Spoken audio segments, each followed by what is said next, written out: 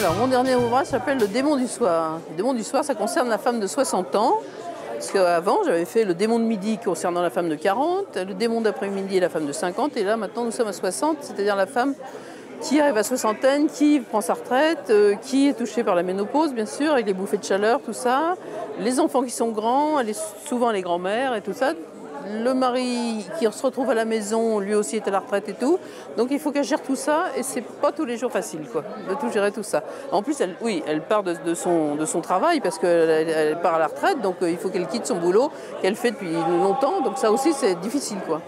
Donc voilà, c'est l'histoire de tout ça. C'est une femme qui vit tout ça et qui euh, passe une mammographie un jour et il, y a, deux, petites boules, il y a un truc, euh, voilà, donc ça l'angoisse, elle s'imagine qu'elle va avoir un cancer du sein, donc euh, heureusement ça se passe bien, mais ça déclenche en elle un truc où elle se dit, mais j'ai quoi? J'ai encore 10 ans, 20 ans à vivre à peu près correctement, donc il faut que j'en profite. Elle envoie tout péter, voilà, elle envoie tout péter et elle va se faire une vie comme elle a envie, quoi, voilà. Faire enfin ce qu'elle avait envie de faire. Voilà, c'est l'histoire du démon du soir. Alors moi, je, on m'appelle Madame Gronet. Effectivement, je fais toujours du personnage à Gronet, donc je commence toujours par dessiner le nez. C'est mon point de, c'est le point de central, et puis après, tout tourne autour, toujours. Tous les personnages, toutes les cases. Donc moi, souvent, j'écris l'histoire avant. J'écris l'histoire, je découpe sur un cahier. Après, je reviens en, découpant par, par, euh, par page. C'est-à-dire que je, me dis, cette scène-là, il va me falloir 4 pages, celle-là 2 pages, celle-là 5 pages.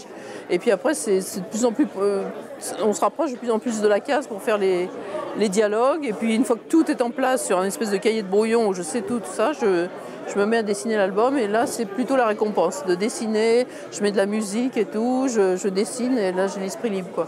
Mais avant, c'est un, gros travail de, comme un puzzle à ajuster. Je sais ce que je veux faire, mais voilà, il faut que tout soit en place. Donc voilà comment je procède. Et je fais, après, je fais les couleurs moi-même aussi. Donc c'est encore, euh, c'est encore de la musique et de la radio à écouter et euh, je me laisse aller. Quoi.